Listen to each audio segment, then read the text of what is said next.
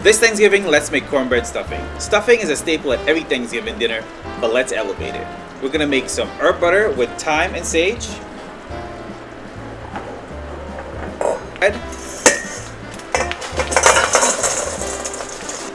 Making herb butter is real easy. Just get some herbs, heat up some butter. Do not burn the protein. If it's turning into brown butter, stop. Cut the heat and just let it sit in the pan. All you want to do is make sure you get a nice green looking butter. Nothing has to crisp up. It's separating all those delicious flavors from the herbs. Dump it in. Get some vegetables going. Break away from tradition like we say and use some nice earthy mushrooms and some carrots. Using canned carrots is totally okay, especially when you don't have those extra heads of carrots in your fridge nice chicken stock. If you don't have stock, use a little bit of water. Lastly, get some beaten eggs in there.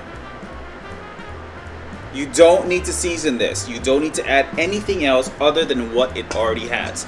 Because you can always add salt to the end and pepper to the end. When you're done folding everything together, get it in a nice dish. No padding, no packing, just let it get in there.